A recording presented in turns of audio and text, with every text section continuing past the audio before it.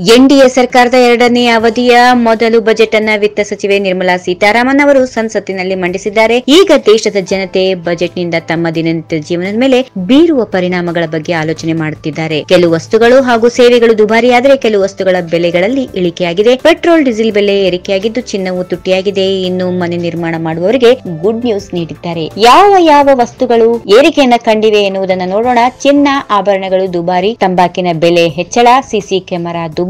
Pipe tiles DVD ಬೆಲೆ ಏರಿಕೆ, ತಂಬಾಕಿನ ಬೆಲೆ ಹೆಚ್ಚಳ ಪೆಟ್ರೋಲ್ ಡೀಸೆಲ್ ಬೆಲೆ ಏರಿಕೆ, ಮದ್ಯ, cigarette mobile TV fridge rubber ಬೆಲೆಗಳು ಏರಿಕೆ, ಆಮದು ಮಾಡಿಕೊಳ್ಳುವ ಎಲೆಕ್ಟ್ರಾನಿಕ್ ವಸ್ತುಗಳು ಏರಿಕೆ CCTV HD camera furnitures auto part ಏರಿಕೆ water blanking tapes ceramic tiles ಗೋಡಂಬಿ ತಾಳೆ ಎಣ್ಣೆ ಇಂಡಸ್ಟ್ರಿಯಲ್ ಆಸಿಡ್ ಏರಿಕೆ plastic ceiling cover floor cover ಏರಿಕೆ ಎಸಿ ಹಾಗೂ ಎಲೆಕ್ಟ್ರಿಕಲ್ ವೈರ್ಗಳ ಬೆಲೆ ಏರಿಕೆ ವಾಹನಗಳ ವೈಪರ್ ಸಿಗ್ನಲಿಂಗ್ ವಸ್ತುಗಳು ತುಟ್ಟಿ ಇಂಜಿನ್ ಚಾಸಿಸ್ ವಾಹನದ ಲಾಕ್ ದ್ವಿಚಕ್ರ ವಾಹನಗಳ ಲೈಟಿಂಗ್ಸ್ ಹಾರ್ನ್ ಇತ್ಯಾದಿಗಳು ತುಟ್ಟಿ, ಇಂದಿನಿಂದಲೇ ಪೆಟ್ರೋಲ್ ದುಬಾರಿ. ಇನ್ನು ಕಾದಿದೆ ಕಷ್ಟಗಳು ವಾಹನ ಸವಾರರಿಗೆ. ಯಾವ ಯಾವುದು ಅಗ್ಗವಾಗಿದೆ ಎನ್ನುವುದನ್ನ ಈಗ ನೋಡೋಣ.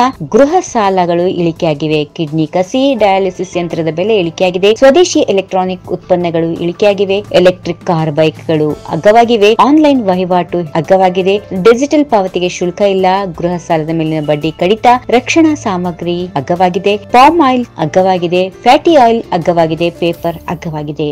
ಈ ವಿಡಿಯೋ ನಿಮಗೆ ಇಷ್ಟವಾದಲ್ಲಿ ಲೈಕ್ ಮಾಡಿ, ಶೇರ್ ಮಾಡಿ, ಸಬ್ಸ್ಕ್ರೈಬ್ ಮಾಡಿ.